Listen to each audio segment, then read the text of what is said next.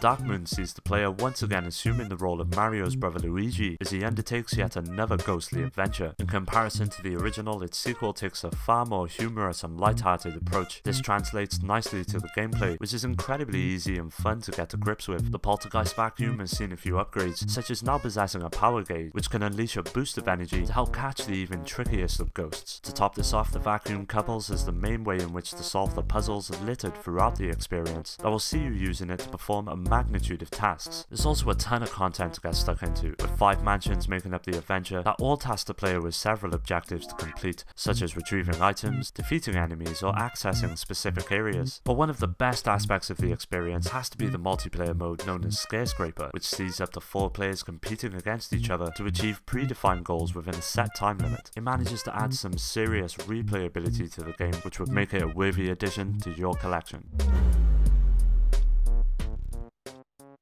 Bravely Default takes place in a world known as Luxendarc, which is kept in balance by four crystals that are each worshipped and protected by the surrounding populace. After one of these crystals is consumed by a mysterious darkness, its protectors undertake a journey to restore it and ultimately save the world from the encroaching evil. The journey comes to life thanks to the incredible art style that conveys each location you encounter along the way with intricate detail and character. Each town is packed with NPCs and shops that provide the player with items or magic as well as weapons and armor armor to even odds against the huge variety of enemies in the game, but the battling system has to be one of the best aspects of the experience. It combines many factors such as the well thought out job system, and with over 24 separate jobs available, there is plenty to try out, from standard attacks to healing, summoning monsters, all the way to job specific moves. It truly is an insane amount on offer here.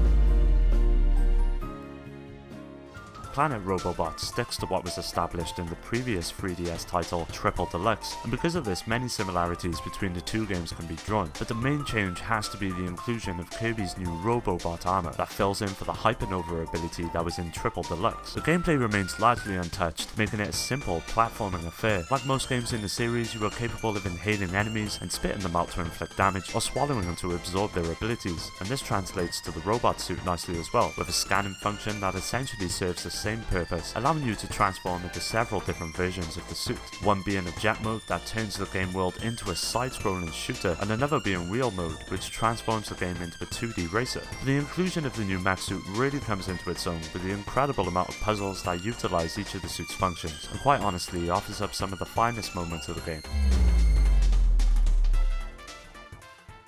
The journey is comprised of 6 worlds that consist of about 8 to 9 stages each. It's a pretty sizable adventure that will last you a good amount of time and it shares many similarities with the previous Yoshi games in the series. You can run and jump as well as absorb enemies and spit them out to form yarn balls. The platforming is simple to be honest and will not really provide that much of a challenge for more seasoned players but that in no way detracts from what the overall experience gets right. A huge emphasis is put on amiibo this time around which help you unlock extra designs for Yoshi as well as provide a way to help find hidden treasures in each stage. Visually, Poochy and Yoshi's Woolly World looks fantastic. Nintendo should really be commended for getting this up and running on a handheld machine, and if you're lucky enough to have a new 3DS in your hands, you can look forward to an enhanced experience due to the bump in frame rate from 30 to 60 frames per second.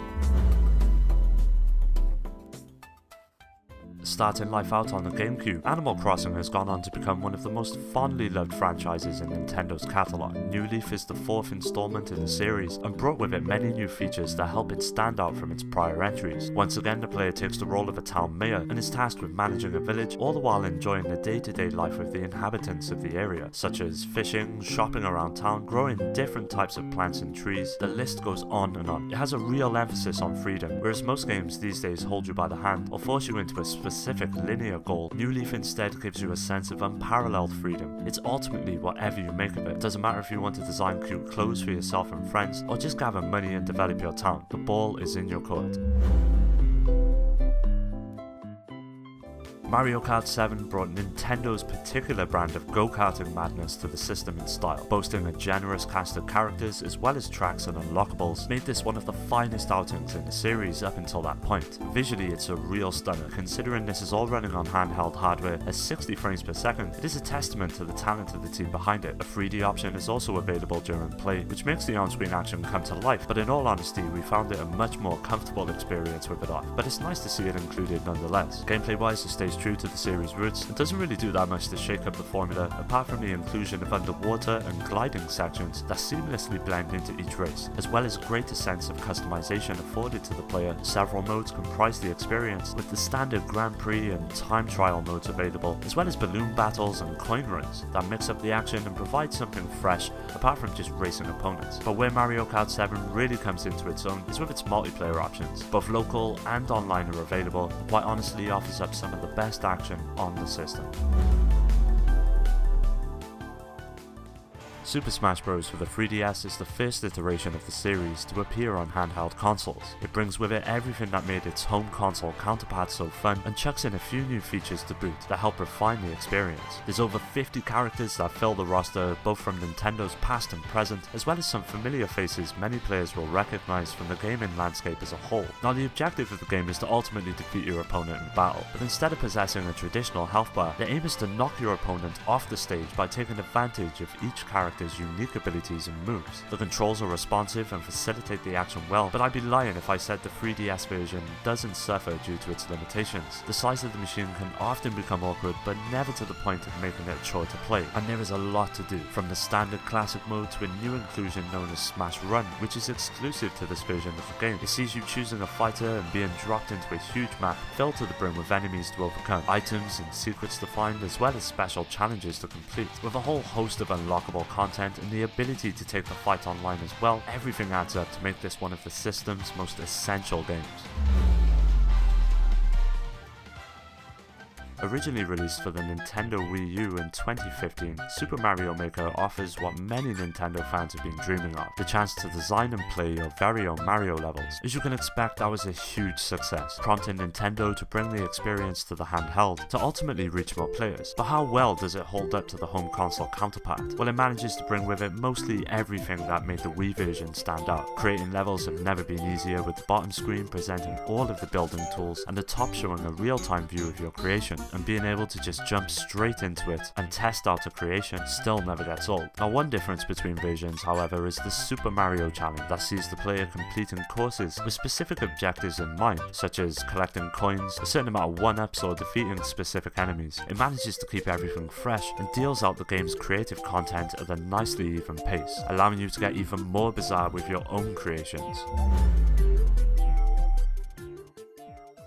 A sequel to the classic adventure A Link to the Past on the Super Nintendo, players once again take up the role of Link, who is tasked with saving the kingdom of Hyrule from an evil entity known as Yuga, an evil sorcerer intent on resurrecting Ganon. The journey is set over two worlds, the first being Hyrule and Lorule being the second. They both completely differ in style and tone, but retain a similar layout to each other. A whole host of lovable characters occupy both realms and help the player along the way in the form of assistance and side quests that help bring both worlds to life. Gameplay wise, everything manages to stay true to the top-down Zelda games of old, navigating Link around the environment feels fluid and responsive, armed with a trusty sword and shield as well as a whole host of weapons to acquire along the way that make an appearance from the series past, such as the bow and bombs, will make long-time fans happy as well as newcomers alike. But the real hook of A Link Between Worlds is the ability to turn into a painting, which is acquired upon completing the first dungeon. This grants the player the ability to project themselves onto certain walls that is utilized throughout the experience. You'll see yourself using using it to cross gaps, avoiding traps, dodging enemies and solving puzzles scattered throughout each world.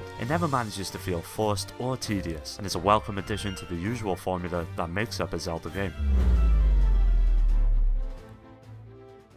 Pokemon Sun and Moon introduced us to the vibrant region of Alola. This allowed it to, in terms of the narrative, deviate from the regular story beats of the series and instead presented a journey that managed to feel like a real evolution of the Pokemon formula. Although the gameplay remains intact, there is a huge number of changes to the overall setup that complement the new adventure, one of the most notable being how the journey is now split up into separate islands, each requiring the player to complete a set of trials in order to advance. This aspect fills in for the gyms that occupied the towns of other regions in the franchise, and instead presents the player with a huge variety of tasks instead of the standard way of advancing by collecting gym badges that fans have become so accustomed to. Another new addition to the franchise was the introduction of the Z move that requires your Pokemon to be holding a crystal in order to perform. When combined with a move of the same type, a devastating version of it can be unleashed and results in a spectacular show that dominates the on-screen action. Just over 80 new Pokemon species were introduced with Sun and Moon, as well as Alolan versions of previous generation Pokemon, which was a nice little touch that is bound to put a smile on everyone's face. With several Pokemon games on the system, there is a lot of choice when it comes to deciding what to get. If you're looking for a fresh take on the franchise, pick up Sun and Moon or even Ultra Sun and Moon which came out not so long ago, but if you're looking for a more traditional Pokemon experience, the likes of X and Y as well as the remakes of the Game Boy Advance titles would do more to scratch that itch.